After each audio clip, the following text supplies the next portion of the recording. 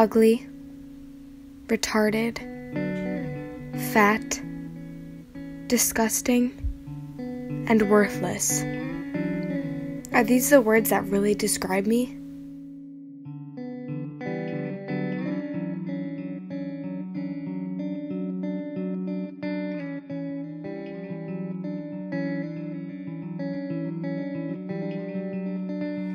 Bullying is everywhere. It's at school, work, home, and everyone in any place can be vulnerable to it. It is widely discussed that bullying is a result of aggressive behavior. Bullying is a repetitive act that occurs over time. This differs from aggressive acts that occur only once. Bullying involves an imbalance of power between the bully and the victim. In 2015, one out of every three students have reported being bullied during the school year. And in this school year span, 41,149 national suicide attempts were reported. That would mean 113 deaths a day. Many of these victims were bullied or felt alone. This just goes to show that everyone has a chance to make someone's day feel a little bit better.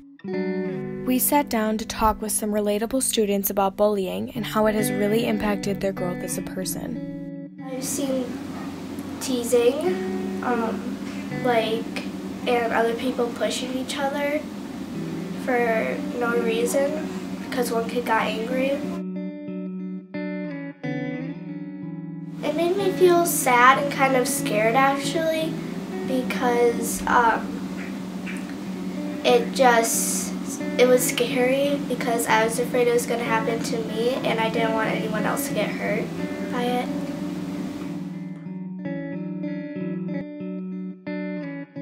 So bullying is being mean to one person over and over and over again and if you have even if you have no connection to that person whatsoever whereas being mean it's just being mean to like a friend and saying something that's somewhat of a joke but may not really be a joke.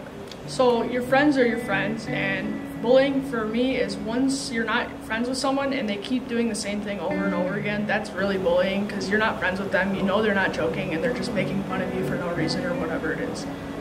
Bullying is personally victimizing someone where like if you had a target and you wanted to um, be really mean to them and plain mean behavior is just you know, saying rude things for really no reason. And an example of that would be while you're hanging out with your friends and they're just kind of like teasing you about random things, but they say it over and over again, so that's not really hurting your feelings just because you're friends. But when it's bullying, the line for me is when you it kind of gets old after a while and it's just a random person just egging you on of over nothing. People bully because they feel insecure or maybe even threatened they do it as sort of a way to seek status and seem superior to other people. I think a way we could end bullying is educating students and showing them that it's really not okay. Even if you do think it's a joke, they may not think it's a joke.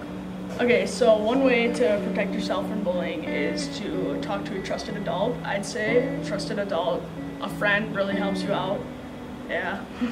Um, talking to a counselor. Counselor, yeah um, counselors, trusted adults, friends, grandparents, any relatives are great to talk to for bullying. Mm -hmm.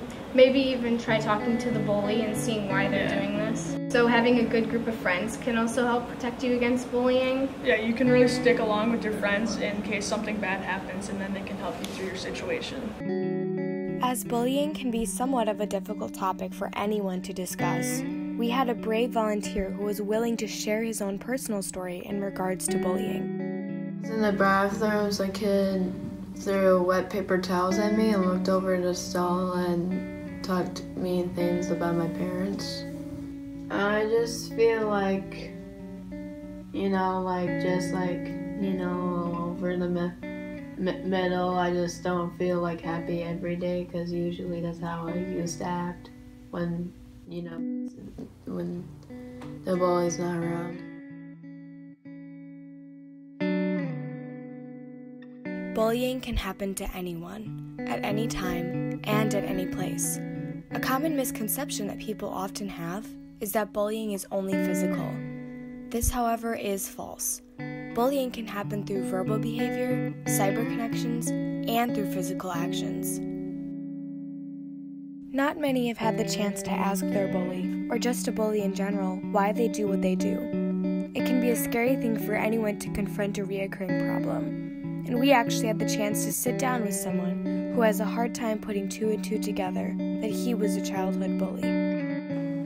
It was never. It was never ever physical, um, but it was kind of like verbal teasing is what I did a lot to them, and and um, I think it was because it was uh, like what everyone else was doing. I feel um, it was. I, I'm not gonna say socially acceptable, but they were kind of the weird, you know, group. They were kind of the oddballs. They were kind of easy pickings, basically. Um, so you know, I called them names from time to time. Again, I don't think I bullied them per se, but I definitely made their lives harder.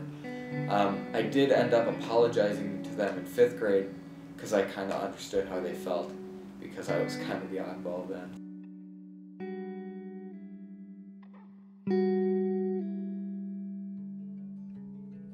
Although all of these possibilities might seem hopeless, you can make it through by remembering the acronym ACT. The A in ACT stands for Acting on Reports of Behavior. C, caring for both the victim and the bully without supporting anyone's behaviors. And T, talking to others who believe that bullying should not be in people's lives. There's two types of bullying that we see at school. There's verbal and there's physical. Physical is when you're hurting someone physically, like punching or hitting them.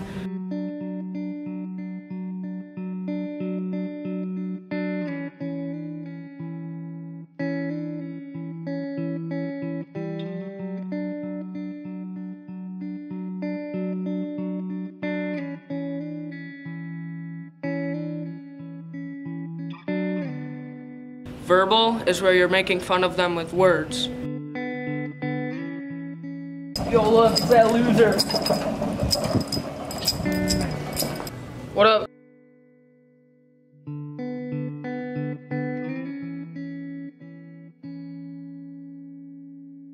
We hope that if you see these things, you will step in. It really takes each individual to make a difference in this. Huh? Whoa, whoa, whoa, whoa. Wait up. I got this. Uh, hey, guys, get the heck out of here. Seriously. Hey, man, are you okay? You alright? Thanks. That was really nice of you. Let me know if they bother you again. Overall, you can get help. You are not the words they call you. You are so much more than what they think. And most importantly, you must remember that you are never alone to